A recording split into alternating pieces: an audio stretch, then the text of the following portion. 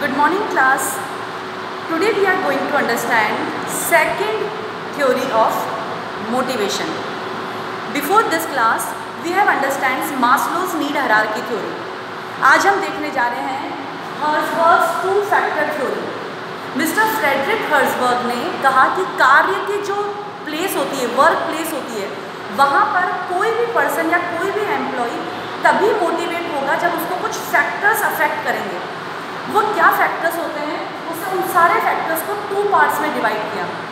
Mister Frederick Herzberg ने 11 companies के 200 सौ एम्प्लॉयज़ पर इसको पूरा स्टडी किया। उनके सारे फैक्टर्स की उसने डिटेल रिसर्च करके ये सारे फैक्टर्स आइडेंटिफाई किए। So go through one by one on upon this mister Herzberg की द्वि घटक विचारधारा जो है, वो टू पार्ट्स में डिवाइड है। First hygiene factor that is आरोग्य या स्वास्थ्य घटक। Second motivating factors that are अभिप्रेरक घटक.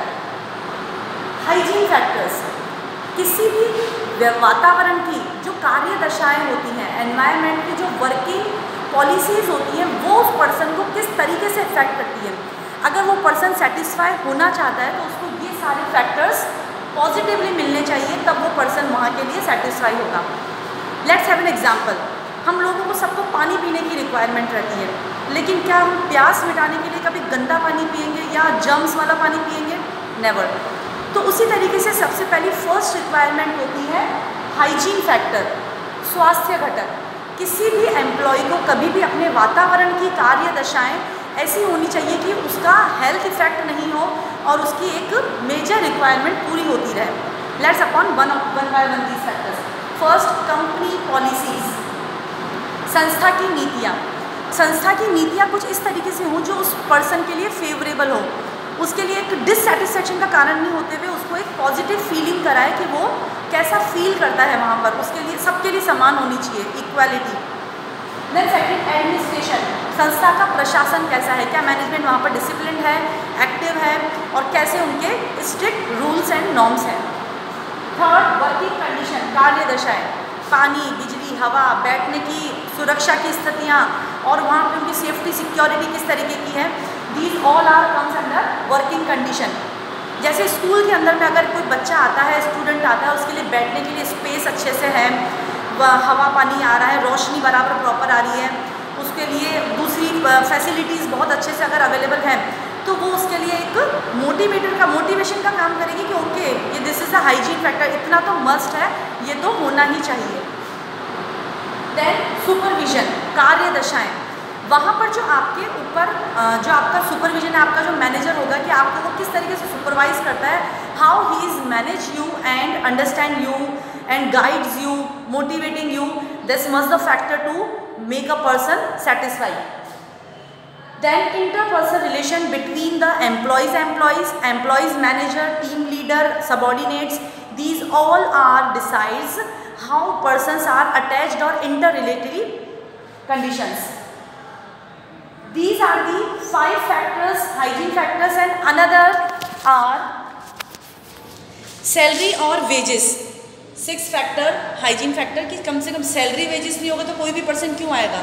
स्कूल में अगर पढ़ाई नहीं हो रही है तो बच्चे क्यों आएँगे? तो नॉर्मली चीज़ है कि अगर वेजेस और सैलरीज एक ऐसी बेसिक चीज़ें रिक्वायरमेंट है that's facts directly to the factors then fringe benefits what are the fringe benefits these are the extra benefits और we can better say frill benefits जिस तरीके से पिलो कवर होता है तो ठीक है पिलो कवर की वैल्यू वो अपने आप में अपना काम पूरा कर रहा है लेकिन अगर उसको फ्रिल लगी हुई हो जस्ट इमेजिन तो वो ज़्यादा सुंदर और बहुत ज़्यादा अट्रैक्टिव लगेगा। उसी तरीके से अगर किसी पर्सन को अगर फ्रिंज बेनिफिट्स जैसे लाइक वर्दी भत्ता है यूनिफॉर्म अलाउंस है, उसको ट्रैवलिंग अलाउंस मिल रहा है टी ए डी ऐसी कुछ चीज़ें other than other than salary and wages अगर कुछ एक्स्ट्रा बेनिफिट्स मिल रहे हैं इन टर्म्स ऑफ़ फाइनेंस तो these are known as fringe benefits then job security कार्य सुरक्षा, उसको जॉब में से निकाला नहीं जाएगा, उसको काम में से कभी निकल नौकरी में से नहीं निकाला जाएगा, अगर वो अपना काम अच्छे तरीके से करता रहेगा तो this feeling make employ more attach to the organisation so these are the hygiene factors और आरोग्य घटक और स्वास्थ्य घटक। और वी कैन से कि ये व्यक्ति को कार्यस्थल पर अपने कार्य से असंतुष्टि अगर वो प्राप्त करता है तो वो असंतुष्टि का कारण वह वातावरण होगा जहाँ पर वह काम करता है। तो ये काम व्यक्ति को असंतुष्ट होने से रोकते हैं और उनको क्या करते हैं, ये चीज़ें मस्ट फैक्टर है जो कि उस पर्सन को काम पे बनाए रखते हैं। तो let's have once go upon this company policies संस्था की नीतियाँ एडमिनिस्ट्रेशन संस्था का प्रशासन वर्किंग कंडीशन संस्था की कार्यदशाएँ सुपरविजन उसका नेतृत्व इंटरपर्सनल रिलेशन पारस्परिक व्यक्तिक संबंध, वेतन और मजदूरी सैलरी वेजेस फ्रिंज बेनिफिट्स अनुषंगी लाभ जॉब सिक्योरिटी कार्य, सुरक्षा। Now the most important factor is motivating factors इधर यस ये मोटिवेशन की ही थ्योरी है और हम जो बात कर रहे हैं वो फैक्टर्स भी मोटिवेशन से ही रिलेटेड है। बट एक डिफरेंस है इन दोनों में क्यों इनको टू फैक्टर्स थ्योरी कहा गया है? बिकॉज़ ये अगर फैक्टर्स एबसेंट हुए ऑर्गेनाइजेशन में से, संगठन में से तो वो पर्सन वहाँ पे किसी हालत में नहीं रह सकता। ये तो मस्ट है। These factors must possess each and every organisation but these are the motivating factors अभी अभिप्रेरक घटक. These factors doesn't make a person dissatisfied अगर ये नहीं है तो पर्सन के पास डिससेटिस्फाइड होने का कोई रीज़न नहीं है. बट अगर ये प्रेजेंट है, these factors, if present there, their presence makes an employee more motivated. जिस तरीके से अगर आपको एक गिलास में पानी में बहुत प्यास लगी है, अगर आपको एक गिलास साफ़ पानी ला के दिया गया है ओके आप कंज्यूम करेंगे because hygiene factors are fulfilling in this but अगर उस ग्लास के अंदर में एक ग्लास गर्मी के सीज़न में अगर एक ग्लास आइस क्यूब है तो this makes you more motivated आपको बहुत ज़्यादा एक सेटिस्फैक्शन की फीलिंग आएगी. तो these factors must possess any organisation and these factors presence makes a person more satisfied but their absence doesn't make a sense of dissatisfaction अगर ये factors present हैं तो वो पर्सन और भी ज़्यादा मोटिवेटिंग हो जाएगा, बहुत ज़्यादा सेटिस्फाइड होगा। बट अगर ये फैक्टर्स नहीं है तो उस पर्सन की डिससेटिस्फैक्शन की रीज़न नहीं होगी कि अगर ये नहीं है तो वो पर्सन मोटिवेट नहीं हो रहा है। तो this person makes an motivate go upon one by one achievement अगर उस पर्सन को अचीवमेंट ट्रॉफी वाली फीलिंग आती है, उपलब्धियाँ अगर उसे गिनाई जाए कि वो वन बाय वन कितना अचीव करता जा रहा है it makes a person more motivating वो और ज़्यादा गेन करने की कोशिश करेगा पहले से भी। सेकेंड रिकॉग्निशन अगर रिकॉग्निशन एंड प्रेज अगर उस पर्सन को मान्यता और सम्मान मिलने लग जाए उस प्लेस पे, उसको फैसिलिटेट किया जाए, उस चीज़ के लिए उसको सम्मान दिया जाए तो उस पर्सन को एक अपने आप में एक अंदर से इनर फीलिंग आती है कि वो उससे संस्था से ज़्यादा जुड़ाव महसूस करेगा।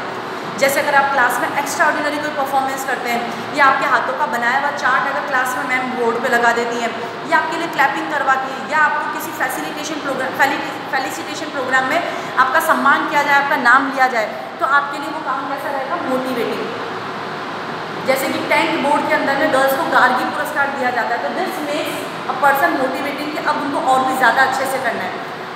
देन थर्ड डेवलपमेंट विकास। वो पर्सन खुद भी कितना ऊपर बढ़ रहा है। ऑब्वियसली बात है, संस्था ऊपर बढ़ेगी तो आपका भी विकास होगा। लेकिन आपका भी विकास हो रहा है अगर आप भी one by one step promotion लिए जा रहे हैं सैलरीज में इंक्रीमेंट हो रहा है, आपका अपने आप विकास हो रहा है तो आप अपने आप को क्या फीलिंग करेंगे कि आपकी अब, आपका जो वर्क एरिया है वो इंक्रीज़ होता जा रहा है। पहले आप एक छोटा रीजन संभालते थे, उसके बाद एक डिस्ट्रिक्ट संभालने लगे। डिस्ट्रिक्ट के बाद में आपको जोन दे दिया। जोन के बाद में आपको स्टेट स्टेट के बाद में हो सकता है आपको सेंटर हेड बना दिया जाए। तो ये आपका क्या कहलाएगा? Development of the area development of the work then responsibility authority and responsibility अगर आपको किसी काम की रिस्पॉन्सिबिलिटी दी जाती है, इसका मतलब संगठन आपका मैनेजर आपका लीडर आप पे विश्वास करता है, आप पे ट्रस्ट करता है। तो this makes responsibility makes an person and employ more committed to the organisation then personal development व्यक्तिगत उन्नति। उस पर्सन का खुद का कितना विकास हो रहा है?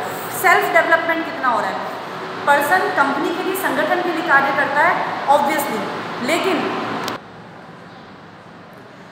so responsibility makes a person more committed towards the organisation देखिए, आप अपने घर पे अगर आपकी मम्मा आपको थोड़ी देर के लिए घर पे अकेले छोड़ के जाती है कि छोटे भाई बहनों का ध्यान रखो तो आपको एक रिस्पॉन्सिबिलिटी वाली फीलिंग आती है। ऐसा लगता है कि नहीं, मेरे पास में अब अथॉरिटी आई है रिस्पॉन्सिबिलिटी आई है तो मैं इसे और भी ज़्यादा अच्छे से करके दिखाऊँगा। तो this makes a person more motivating in the organisation towards achieving the goals of the organisation then personal development व्यक्तिगत उन्नति. And last but not the least nature of the job ultimately कार्य की प्रकृति कैसी है? वो काम कैसा है? थोड़ा डेंजर है सेफ़ है? या वो काम थोड़ा उसके मन का है या नहीं है? अगर उसके मन का काम है तो वो और भी ज़्यादा मोटिवेट होगा। जैसे मुझे टीचिंग में बच्चों के साथ इंटरेक्ट करने में बहुत मज़ा आता है। उनसे बातें करने में बहुत अच्छा लगता है। तो अगर ये मेरे मन का काम है तो मैं ऑलरेडी इसमें बहुत ज़्यादा इन्वॉल्व रहूँगी। और जिस पर जिस चीज़ में, जिस काम में आपका इन्वॉल्वमेंट होता है ऑब्वियसली उसमें रिज़ल्ट ज़्यादा अच्छे से आते हैं। तो let's have a look upon these motivating factors अभिप्रेरक घटक अचीवमेंट उपलब्धियाँ रिकॉग्निशन एंड ऑनर मान्यता और सम्मान डेवलपमेंट मीन्स विकास रिस्पॉन्सिबिलिटी मीन्स उत्तरदायित्व पर्सनल डेवलपमेंट व्यक्तिगत उन्नति नेचर ऑफ़ जॉब कार्य की प्रकृति।